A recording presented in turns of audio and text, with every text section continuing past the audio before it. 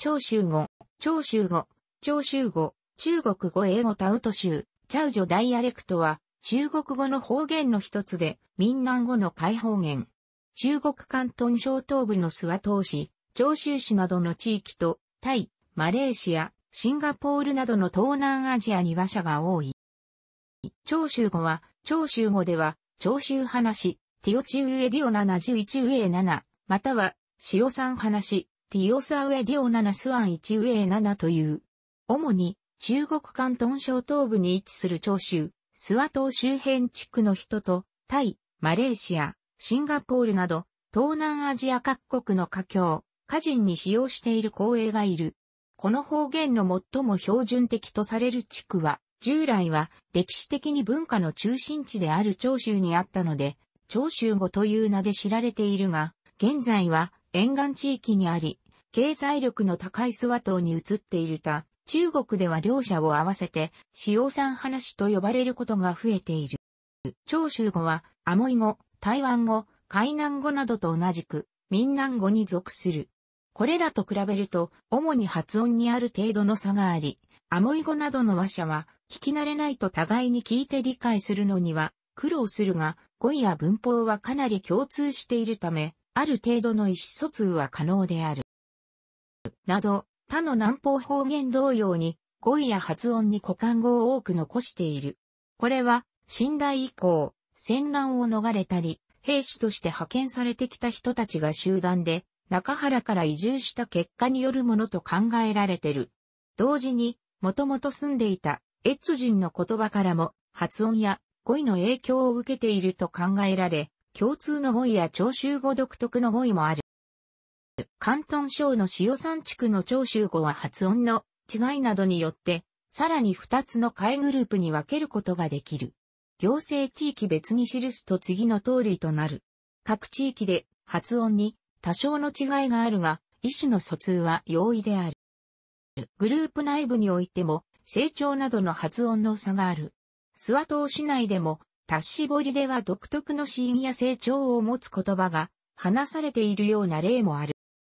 上記の関東省の長州語地域において、地元民同士の日常会話は、長州語で行われるのが普通である。公的な場面や公共放送においては、普通話が使われ、教育も普通話で行われるので、基本的に長州語話者は普通話とのバイリンガルである。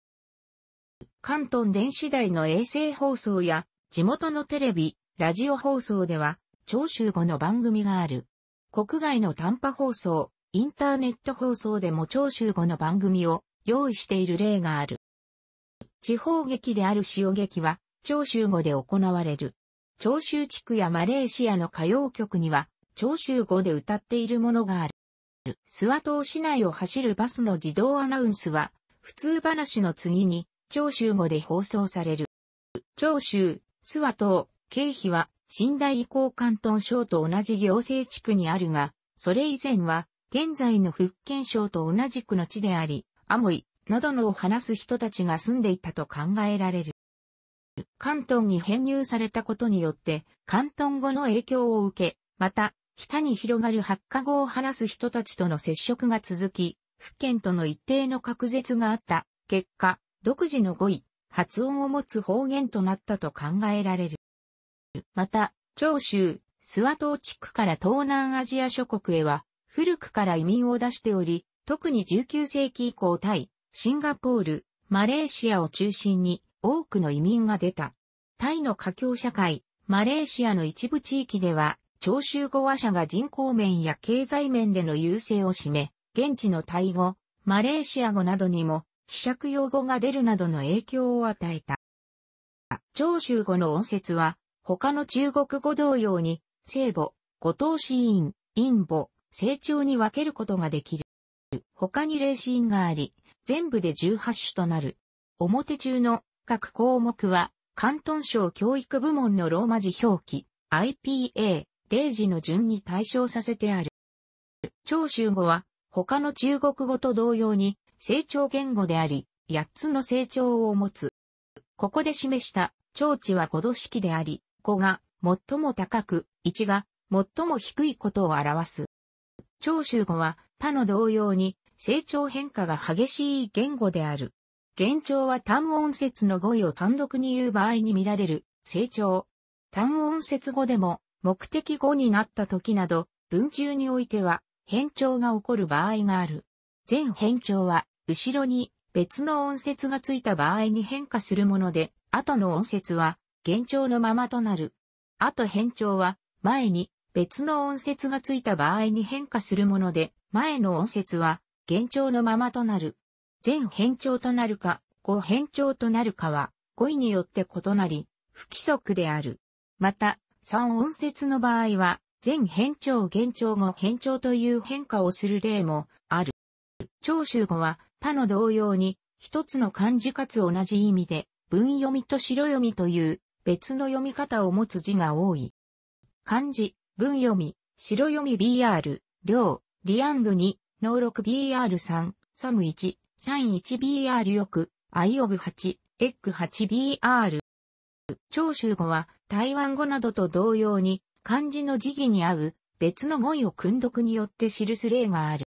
漢字、音読、訓読 BR1、IG4、ゼグ 8BR。もともとに音節以上の語彙が合体して1音節で発音される例がある。語音、語源、意味 BR ライプ8、2リ7 10ザーブ8、20 BR ミ6、5M6 JSI6 ではない BR。長州語の語彙は、漢語共通の現代語彙を除くと、特にと共通する形態層を持つものが多い。これらの共通の語彙には、漢語の古語も含まれるが、非漢語系の語彙も少なくないとみられ、古来の漢字で表すのが難しく、呵責、当て字や方言字の考案によって漢字化しているものもある。